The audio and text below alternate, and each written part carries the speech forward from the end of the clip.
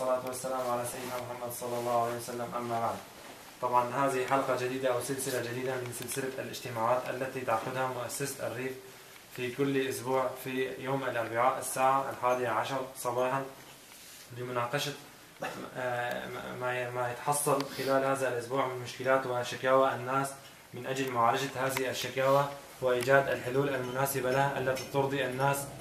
طبعا وفي هذا هذه الاجتماعات طبعا نحن نطلب تقارير من الأشخاص الذين قمنا بتسليمهم مهام كأمين المستودع والمكتب الإعلامي والمكتب الخارجي ومكتب الإحصاء ومكتب الشكاوى والمراقبة.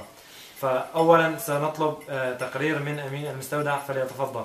بسم الله الرحمن الرحيم، تقرير اسبوعي عن المواد الداخلي والخارجي من مستودع آه، مؤسسه الريف للإراسة. تم توزيع 105 أكياس من الطحين آه، لقرية المراني بسبب نقص الطحين.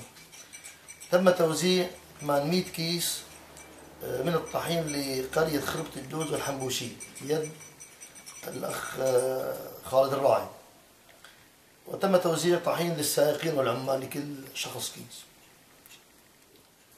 تم توزيع مادة السكر طبعا هي إجت من عن طريق المؤسسين لكل شخص كيلو جرام ل 17 قرية لم تحصل على السكر لا هذه القرى لم تحصل على السكر من الوارد بشكل عشوائي. الوارد بشكل عشوائي لريف اللاجقية تم توزيع نعد القرى؟ عدة القرى التي حصلت على مادة سكر بمعدل واحد كيلو غرام لكل شخص.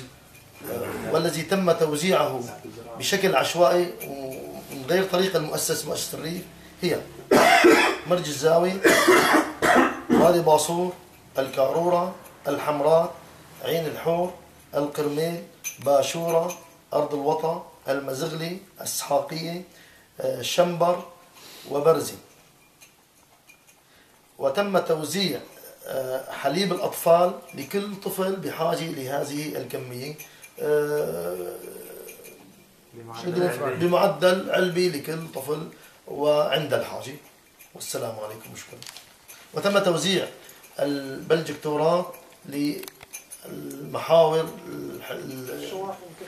الكتائب. على الحدودية.